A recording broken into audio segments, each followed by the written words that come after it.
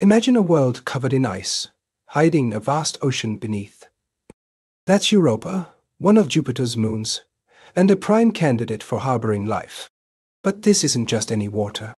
Deep down, near the ocean floor, intense pressure and heat could create something called supercritical water.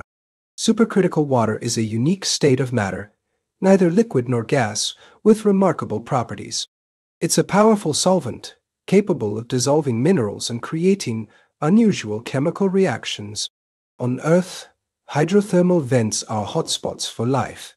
Could similar vents, powered by supercritical water, exist on Europa or Enceladus, creating a cradle for alien life? The possibilities are staggering.